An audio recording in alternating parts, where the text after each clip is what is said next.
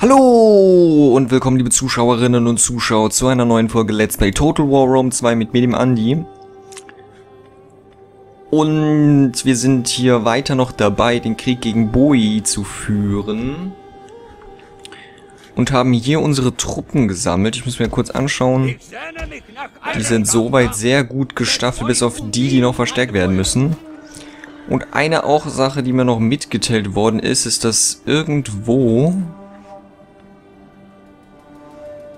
ähm, ich die Besteuerung ja ausgeschaltet habe. Ich weiß nur nicht mehr wo. Da muss ich mir mal kurz schauen. Hierher Konien. Das ist... Oder ist das das? Silesia... Ist es hier? Genau, und die bringen mir null ähm, Steuereinkommen. Aufgrund der Tatsache, dass die ähm, von den Steuern befreit wurden. So, eine Frage ist jetzt nur, wie kann ich die Steuern wieder anmachen?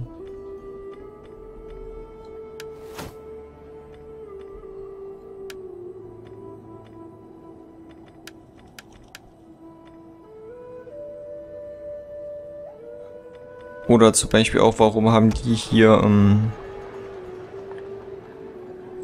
konnte ich nicht immer Informationen kriegen, wenn ich hier drauf gezeigt habe.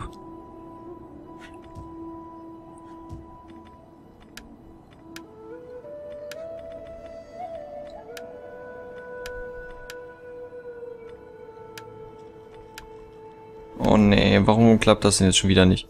Ich will Informationen haben, warum ich minus 1. Das kann ich jetzt nicht irgendwie sehen. Ja, jetzt sehe ich's. So, Schwierigkeitsstufe ist 10, kultureller Unterschied ist 1, Sklaven minus 1, Fraktion 1.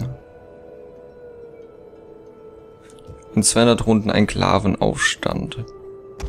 So, wenn ich die da jetzt hinschicke, dann ist es plus 16. Das ist soweit schön, aber ich würde trotzdem gerne die Steuern wieder erheben. Wo mache ich das denn? Details...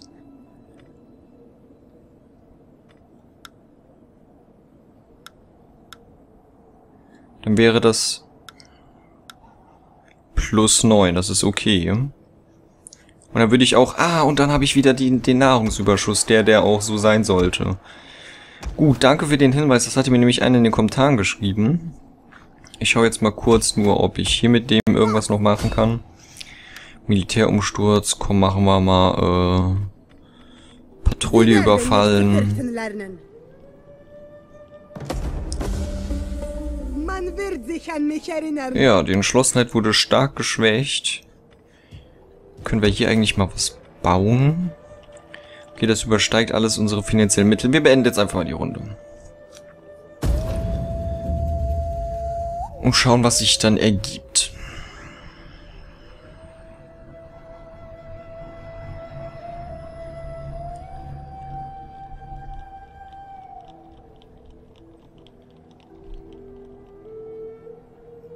Denn ähm, jetzt habe ich guten Nahrungsüberschuss.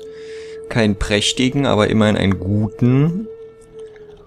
Und dazu kommt noch die Tatsache, da, da Tatsache, dass es mit dem Geld jetzt wieder besser läuft und dennoch in Kasurgis kein Aufstand bevorsteht. Aufgrund der Truppen, die dort stationiert sind. Natürlich werde ich die Truppen im Krieg brauchen, aber ich hoffe, dass sich das einfach irgendwann alles von alleine eingependelt hat. Gehe ich einfach mal von aus. Diese Fraktion wurde zerstört. Welche Partien? Der Name einer eurer Untertanen ist in aller Munde. Ob sich dies als nützlich erweist, bleibt abzuwarten. Was denn Schande? Na egal.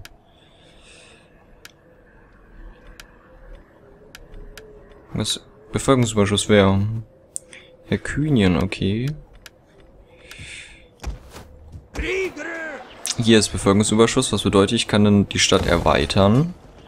Und jetzt zoomen wir mal schön ran, denn wir müssen jetzt eigentlich sehr schön sehen, genau wie sich hier die Stadt einfach größer aufbaut. Das ist echt eine schöne Sache. Was kann ich hier bauen? Gemeinschaftsbereich Stadtzentrum. Ist wichtig für öffentliche Nutzbares. Leider links über zwei Nahrung, aber ich habe doch schon Felder. Wenn ich die aufbessere und hier in Lupfurdum die Felder auch irgendwann aufbessern kann, dann hat sich das eigentlich. Ähm, was bringt das hier? Und mehr habe ich nicht. Gemeinschaftsbereich, 50 Wohlstand und öffentliche Ordnung hier. Der heilige Baum. War öffentliche Ordnung. Ja, das ist eigentlich auch ganz gut, der heilige Baum.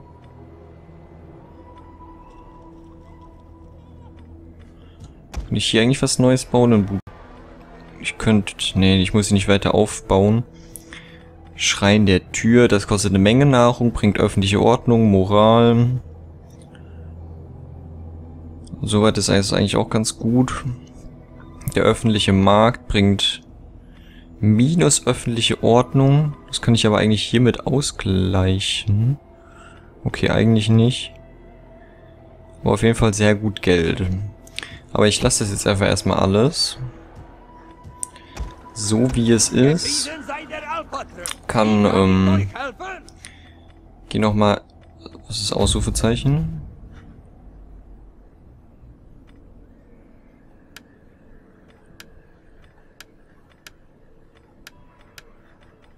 Sind das Leute in meinem Staat oder was? Imperium. Armeen 3 von 3, Flotten 0 von 2. Ja, ja, ja, ja, ja. Ja.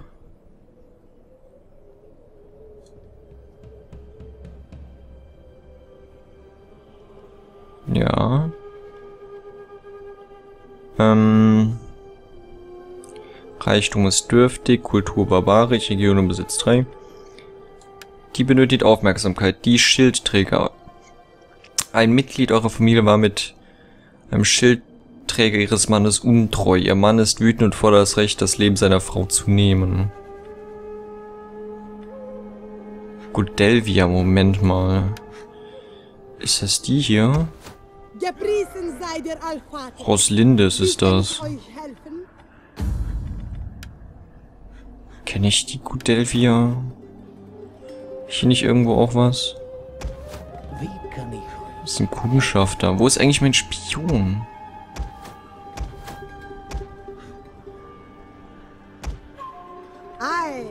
Okay, wo mein Spion ist, das ist mir im Moment jetzt gerade auch nicht mehr ganz so klar. Kann ich gleich hier sehen?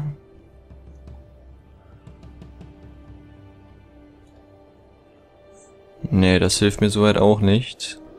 Ich sehe hier nur meine drei Provinzen. Oh, falscher Knopf, wo muss ich drauf drücken? Hier, hier. So, jetzt gehe ich hier nochmal drauf. Also, ein Mitglied eurer Familie war mit einem Schildträger ihres Mannes untreu. Fordert das Recht, das Leben seiner Frau Schande. Die Schande lässt nur mit Blut wegwaschen. Trotz ihrer schändlichen Taten ist die Frau Teil eurer Familie. Boah, ich glaube, die soll umgebracht werden, oder? Ja, die jetzt tot. So, was sind hier, haben wir hier für Leute? Das sind die Generäle, oder? Ja, das sind die Generäle und dann haben wir hier noch welche. Oder sind das die Generäle? Wer ist denn Klodokar Gerol von Balduin? Ist der das? Ich erwarte eure Befehle. Nein, Riedfried. Nein, das ist Klodokar.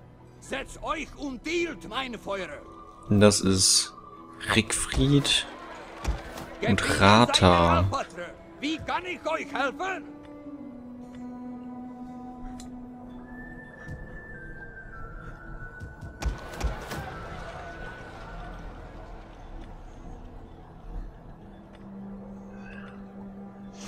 Ja gut, also...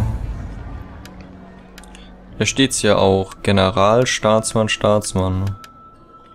Was die mir jetzt aber genau bringen, weiß ich auch nicht.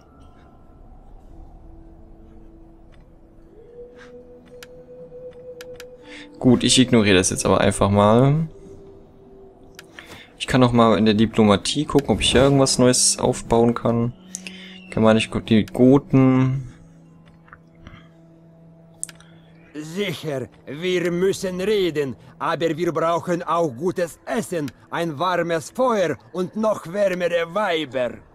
Ja, dann gebe ich ihn einfach mal 880.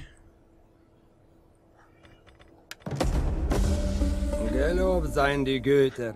Sie Ja. haben uns zu Weißen gesprochen und Gut, dann sind die jetzt auch froh.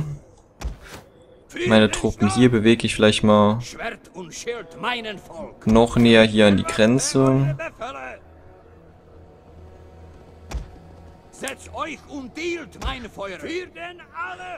Der Kundschafter darf mal wieder ein bisschen weiterlaufen. Schwert Jetzt hier. Die sind nicht sonderlich stark. Was kann der denn? Nicht viel. Hey, Moment, war, ist, war, war der Typ mal, der Kundschafter mein... Vermutlich war das mal mein Spion, kann das sein. Aber dafür habe ich im Moment nicht genug Geld. Also ich mache jetzt einfach mal nächste Runde. Und schau, was sich jetzt einfach so von alleine neu ergibt. Äh, wirtschaftlich geht es meinem Land im Moment gut. Kriegstechnisch ist der Krieg mit Bui immer noch auf Eis. Also im Moment passiert da nichts Aktives. Weil ich einfach mit dem nächsten Schlag es wirklich einfach zumachen will. Also da ich will es einfach wirklich beenden.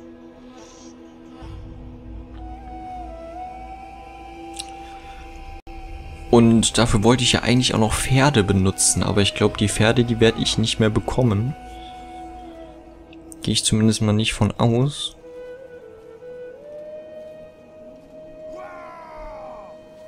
Hm. ist echt so eine Sache. Ich könnte auch Frieden mit den Boi schließen und gegen schwächere Länder Krieg führen. Ach, okay, unser Agent wurde entdeckt. Der Mann sah eure Entscheidung nicht einzugreifen als Erlaubnis.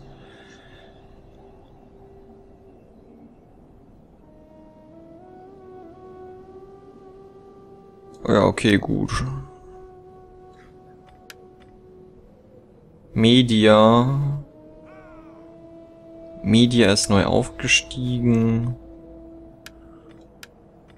Motivierte Erfolg aus dieser... Silesia, wo ist denn Silesia? Ah, hier. Ja, denen geht's ja auch gut. Die haben ja nichts, warum sie sich beschweren müssten. Absolut nicht. Mit Furdum warte ich endlich darauf, bis ich hier, obwohl ich das eigentlich noch nicht mal mehr brauche. Ich sehne mich nach einem Kampf. So, ich gehe jetzt einfach ganz, so- ganz schnell noch mal ins Diplomatiefenster.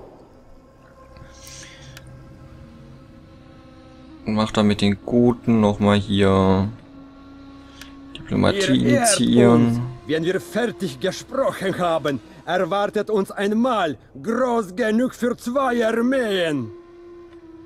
Vielleicht kann ich auch Konföderation beitreten. Aber Da ist die Erfolgswahrscheinlichkeit niedrig. Wie viel? Ich gebe dir noch mal Geld.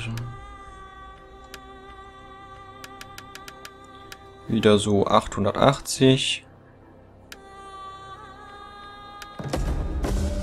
Gelobt seien die Götter. Sie haben uns zu Weißen gesprochen und inniger Freundschaft geführt. Ich stimme zu. So, dann wende ich gerade nochmal die Armeen technische Sicht aus. Die haben hier die... Das sind hauptsächlich Speere. Infanterie. Hauptsächlich wieder Speere und...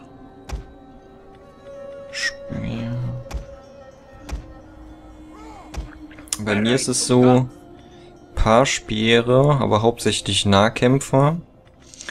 Bisschen Weitkampftechnisch hier, hauptsächlich Nahkämpfer, paar Speere. Also mit, eigentlich müsste ich den Krieg locker gewinnen. Den! Und hier habe ich auch noch Truppen.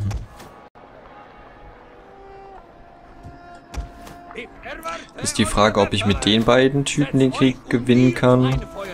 Oder dem brauche unbedingt. Ist die Frage. Erstmal beende ich die Runde. Ja, los, komm, ja. Denn ich könnte in Kasugis auch diesen einen Schrein da bauen. Das bringt mir dann wenigstens pro Runde plus eins öffentliche Ordnung. Dann könnte ich auch meine Truppen daraus vielleicht abziehen, aber ich glaube plus eins, das reicht niemals. Aber es ist zumindest ein Anfang. Zumindest ist es ein Anfang. Steht zumindest fest und da muss ich nur gucken, dieser Krieg gegen Bui, der raubt mir Geld aus der Staatskasse einfach, weil diese stehende Armee, diese vielen Truppen, die kosten einfach extreme Unterhaltskosten, die ich jede Runde decken muss.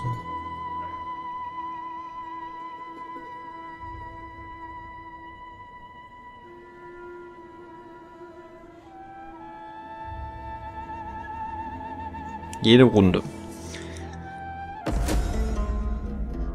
Oh, Helvetia wurden zerstört. Ein Land besteht eine Nahrungsmittelknappheit. Warum das denn? Die Menschen hungern und Gerüchte kursieren, dass ihr als Anführer versagter Provinz, die besonders viel Nahrung verbraucht. Warum habe ich denn Nahrungsmittelknappheit? Die Suaben haben Bevölkerungsüberschuss. Saba steigt auf.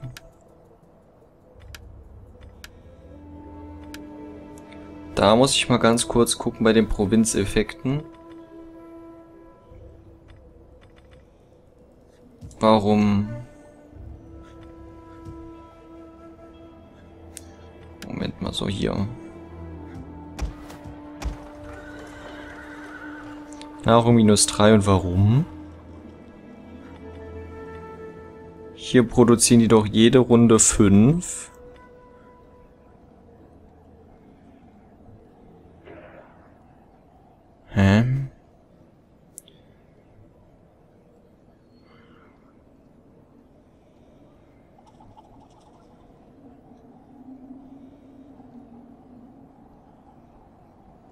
Ja, warum ist Nahrungsmittelknappheit?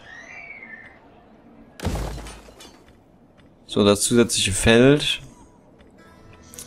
Ich jetzt erstmal einen Bau gegeben, heiliger Baum. Das ist alles schön. Oh, mal gucken, wie die Stadt jetzt... Ah, jetzt ist sie hier noch ein Stückchen gewachsen. Eine schöne Hauptstadt. So, die haben drei. Die haben minus zwei. Einfach weil ähm, das Gebäude braucht minus zwei. Und da die nichts produzieren, machen die minus 2 die Runde. Macht Sinn. Die haben plus 3, weil das Gebäude braucht minus 5.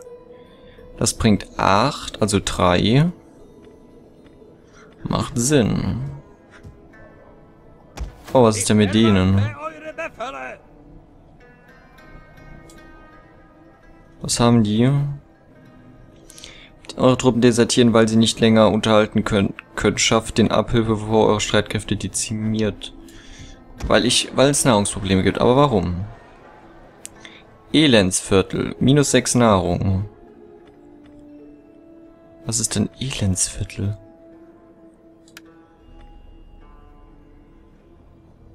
...500 abreißen. Ja, reiß mal schnell das Elendsviertel ab. What the fuck? kann man denn ein Elendsviertel? Das kann, muss gefälligst abgerissen werden. Braucht noch kein Elendsviertel. Oh mein Gott. Das geht ja mal gar nicht. So, kommt jetzt eigentlich gleich in drei Runden wirklich die Fruchtfolge? Ja, die Fruchtfolge kommt dann. Gut, der Schmied ist auch ganz gut. Und hier heiliger Baum. Von germanischen Steinschleudern kann ich doch eh schon da machen. Hier durch, oder?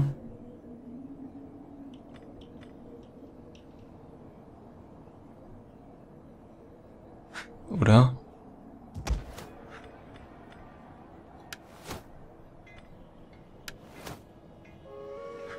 Aber da kann ich die doch sowieso schon bauen.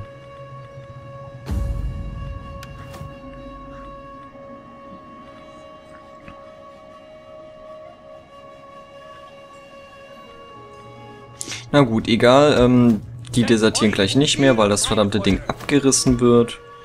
Und dann beende ich den Part auch für heute, liebe Zuschauerinnen und Zuschauer. Ich hoffe, euch hat's gefallen. Wir sehen uns morgen wieder. Haut rein und bis dann. Ciao. Ciao.